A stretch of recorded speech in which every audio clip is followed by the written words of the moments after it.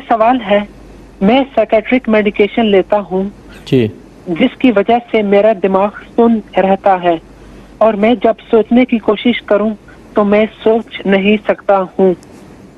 तो क्या मज़हब इस्लाम ने मुझ मुझ जैसों के लिए अल्लाह के वजूद पर अकली दलाइल दिए हैं? मसला ये है कि अगर आप कोई मेडिसिन वगैरह यूज़ कर रहे हैं जिसके ऐसे इफ़ेक्ट्स हैं कि आपका दिमाग प्रॉपर वर्किंग में नहीं है तो क्या मतलब आप वॉशरूम नहीं जाते? आप कपड़े नहीं बदलते? आप खाना नहीं खाते? आप माँ बाप को नहीं पहचानते? या आप छत पे चढ़ के तीसरी मंजिल से छलांगे लगा लेते हैं कि जी मेरा जहन तो सुन था? या सुबह टिशू मक्खन में भिगो के खा जाते हैं कि जी मैं तो डबल रोटी समझ के खा गया?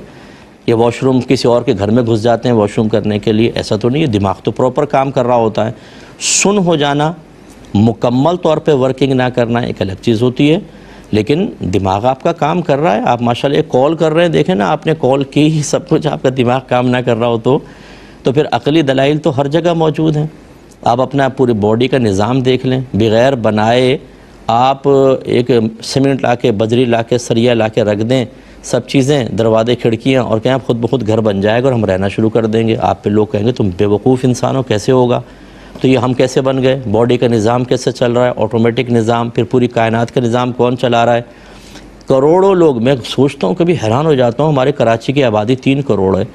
तीन करोड़ आदमी में से अगर एक एक आदमी रोज़ाना एक किलो पानी भी खर्च करता हो, एक किलो, अब इसको तीन करोड़ से आप मल्टीप्लाई करें, कितना पानी? फिर पूरा महीना, फिर पूरा साल, फिर पूरी ज़िंदगी। अल्लाह ताला ने कैसा मीठा पानी वाफर मकदार में ऐसी बन गई, ऐसी पैदा हो गया। सूरज की रोशनी आठ सेकंड में हमारे पास यहाँ पहुँचती है। इतना परफेक्ट फासला है कि वह आती है तो मुजरे सेहत नहीं होती, बल्कि सेहत देकर जाती है। सब्ज़ियाँ उससे ज़रात वगैरह उसकी वजह से बीमारियाँ दूर होती हैं। अगर ज़रा भी सूरज करीब हो, ज़रा दूर हो, दुनिया या तो बहुत ठंडी होकर ख़त्म हो जाएगी या जल जाएगी। ऐसी सूरज की रेस क्यों नहीं आती हमारे पास? फैली हुई हैं स्पेस में, लेकिन हमारा एक मैग्नेटिक फ़ील्ड है जो उसको रोक रही है, मुसलसल अंदर नहीं आने देती। ये खुद ब खुद हो गया। तो ये ऐसे सैकड़ों हज़ारों दलाइल है। मैं गुजारिश करता हूँ, आप यूट्यूब पर जाएँ स्पेस लिखें, जो आपके सामने क्लिप्स आएँ, उनको सुनें। उर्दू में भी हैं, पड़ोसी मुल्क की बहुत सारी ट्रांसलेट करके उन्होंने डाली हुई हैं।